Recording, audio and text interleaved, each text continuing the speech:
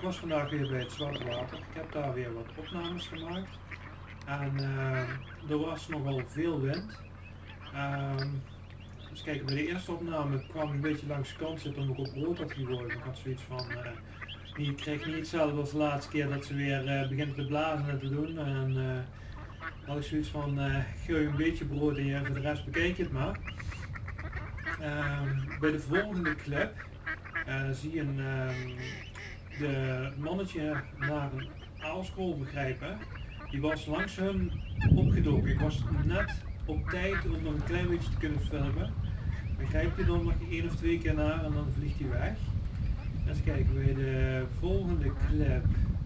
Wat heb ik staan? Oh ja, hapt hij een beetje naar een jong. Naar een jong, zo van hey ga weg. En uh, bij de, die clip daarna klimmen twee jongen over een stam heen. En mama heeft zoiets van, uh, ja ik uh, weet het ook niet, ik uh, ga er maar even een beetje omheen. En oh ja, dat gaat niet. En uiteindelijk knipt ze er toch maar overheen. Dat was best wel komisch eigenlijk.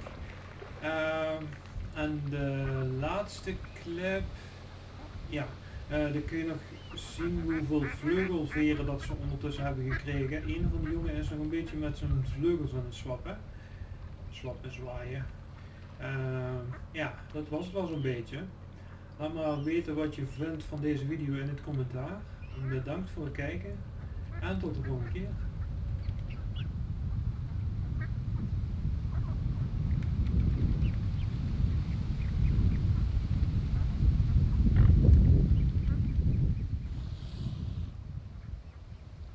Staat? Een aalschool van Never the Zwaan, hè?